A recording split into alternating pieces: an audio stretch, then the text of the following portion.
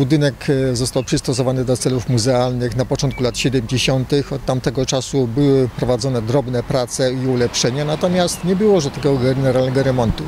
I teraz e, chcemy to naprawić, e, mając pod na uwadze to, że potrzebujemy przestrzeni do nowej wystawy starej, która została dobrze zaprojektowana, przygotowana i chcemy, żeby ona była właściwie pokazana.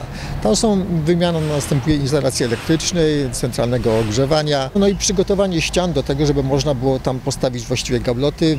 Na tyłach muzeum trwa natomiast budowa nowego magazynu na potrzeby zbiorów placówki. Do tej pory artefakty były składowane na poddaszu budynku. Eksponatów jest około 15 tysięcy. Teraz będą przechowywane w komfortowych warunkach. Koszt inwestycji to blisko 1 300 tysięcy złotych. Milion złotych pochodzi z rządowego Polskiego Ładu.